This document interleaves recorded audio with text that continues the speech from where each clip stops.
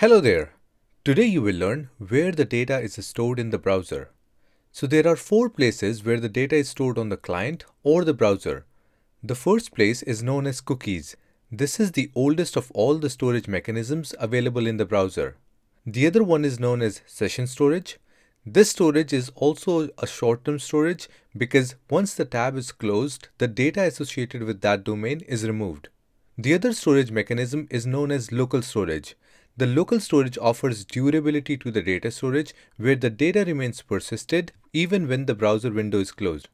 And finally, we have IndexedDB, which has full-blown database capabilities. It offers storage of objects, indexing, transactions, and many more things that you expect from a database.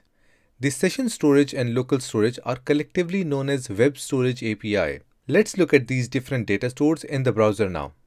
I will open up youtube.com in Chrome browser. Once opened, I will open up the Chrome DevTools.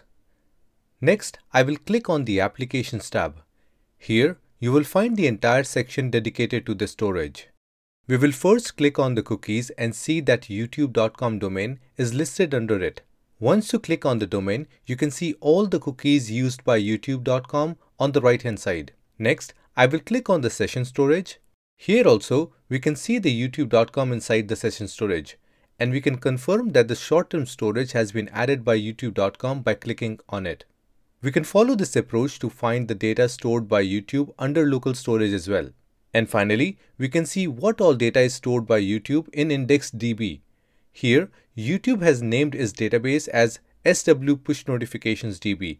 And when you click on the DB, you can see the object store called as SW Push Notifications Store. Once I click on the store, we can see the key value pairs of the data, where keys are string and values are objects.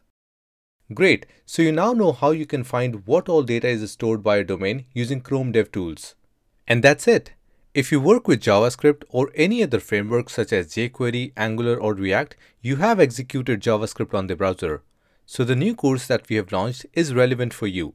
It's called Browser JavaScript and Event Loop. This course educates on how JavaScript is executed behind the scenes and will cover various topics such as execution context and event loop. You will have the opportunity to visually see every step of JavaScript code execution. Check out the course link in the description below to learn more about the course and let us know if you have any questions. Keep learning and see you next time.